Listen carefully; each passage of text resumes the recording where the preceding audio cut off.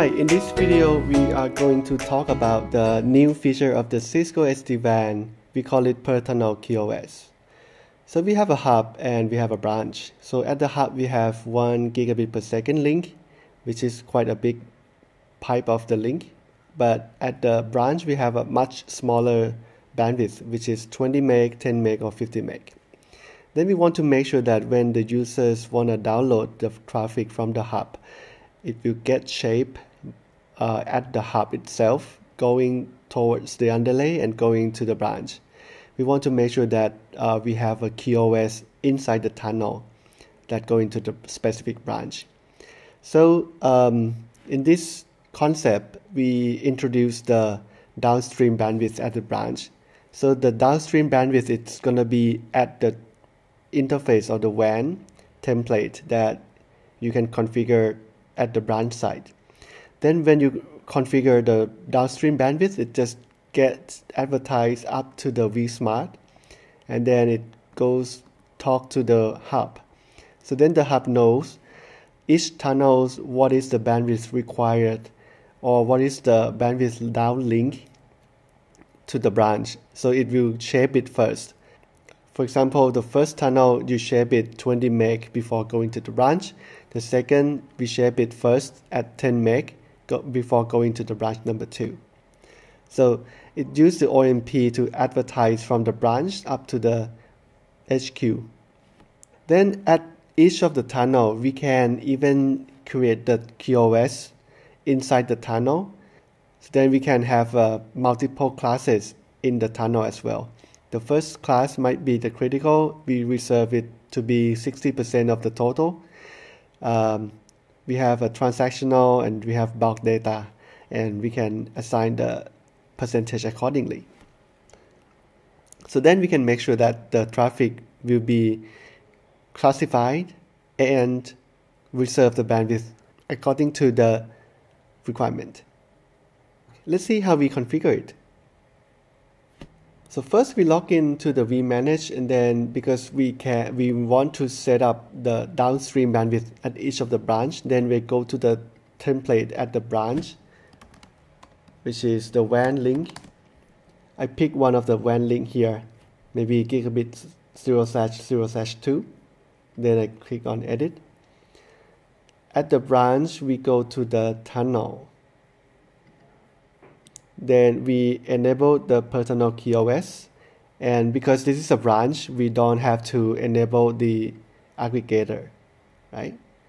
And remember that we need to specify the values of the downstream on this tunnel. Then we go to the bandwidth downstream. Then because of the branch here, we have only 10 megabit per second downlink. Then we set it up like this. Then the 10 meg here is going to get advertised up to the vSmart and then down to the HQ. Then the HQ will see the information there. Uh, this is done at the branch side. Then we go to the hub. We go to the WAN of the DC and then we click on the interface template.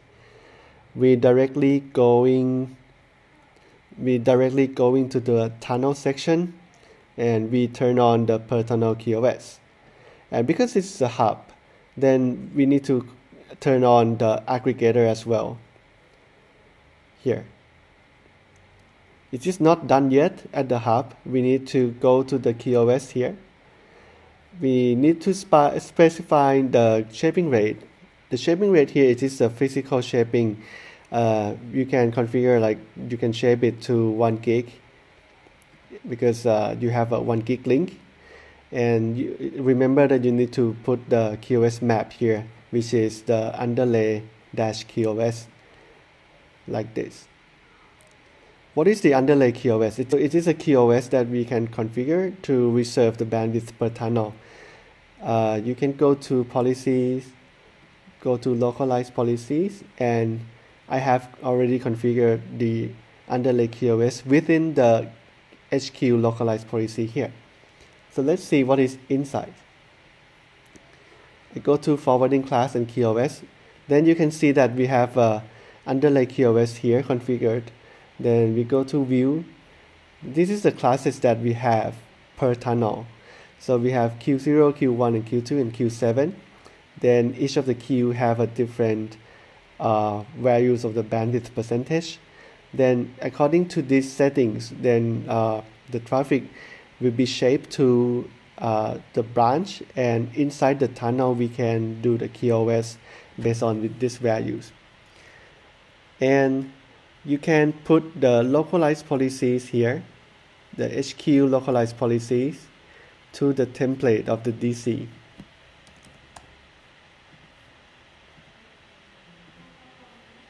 You can go to the template, device template, and then you go down to additional template.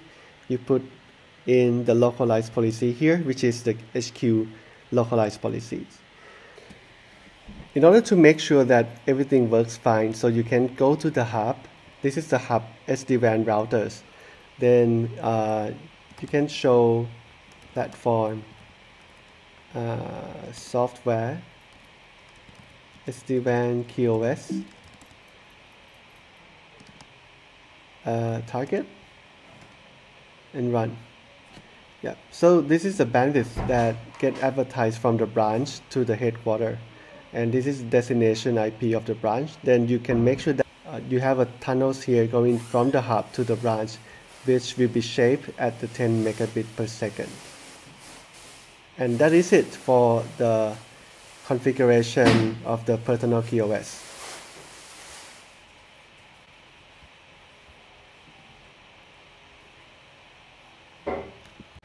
So for the policies that brings the applications or the traffic into the class, it is in the different videos. So uh, you can refer to that.